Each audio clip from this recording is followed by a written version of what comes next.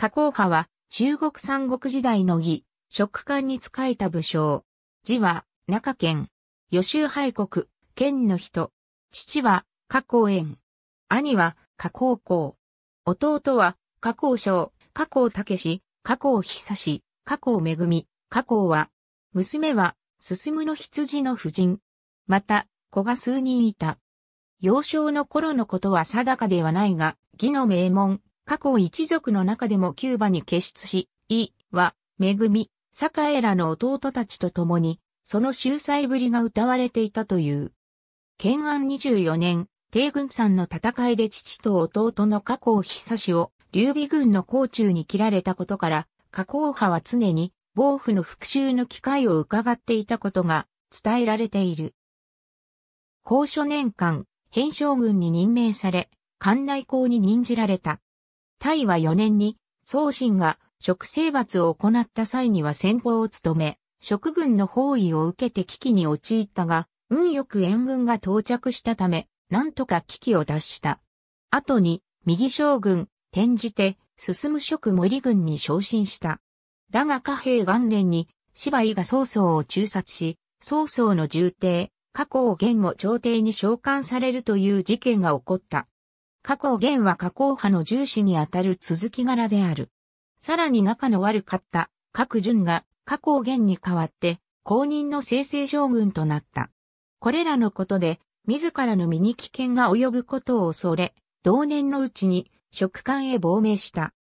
敗将士が引く義略によると、職官の龍前の皇后が創業の後進である。長妃の娘で、その母親が加工派の族妹であったことから、加工派は職官で手厚くもてなされ、すぐに、社記将軍に任じられたとある。社記将軍就任後、当時職の名称として知られていた長玉に近づき、信仰を深めようとしたが、請求に仲良くしようとしていることをたしなめられている。それ以降の自責については、円広氏18年に脅威とともに、適道に出て、義の右行を大破した戦果と、陳義の死より、後の死没が伝えられるのみである。超雲伝によると、関浦に死号が送られた慶陽3年以前に、送り名が送られたという記述が確認できることから、この時はすでに死去していたことが判断される。また、超翼伝には、慶、陽2年に良家と、超翼が左右の社記将軍に任じられたという記述があり、加工派が死去して空席になったことが推測される。なお、加工派の子たちは加工派が職に亡命した後、元君、加工園の子孫ということで恩赦を受け、落老軍に流されたという。小説、三国志演義では、加工園の長子となっているが、字の中堅が次男であることを示すため矛盾が生じている。初登場は、長坂の戦いで、長妃に突き落とされ川へ転落する。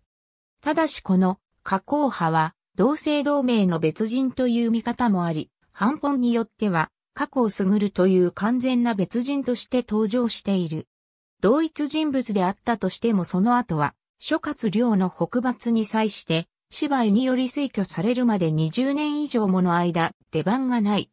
職に亡命してからは脅威の参謀として北伐に幾度となく参加するが第8回目の戦いで空上の刑にかかり戦死してしまっている。ありがとうございます。